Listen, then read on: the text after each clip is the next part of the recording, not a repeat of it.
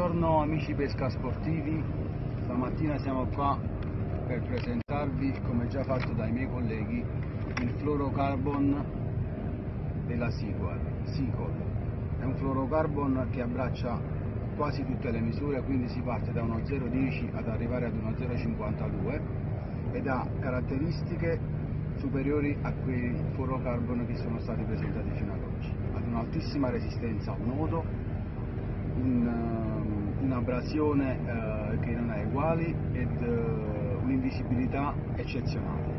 Non ci resta che provarlo e tenerlo nella nostra borsa per, uh, per delle grandi pescate. Un abbraccio, vi saluto.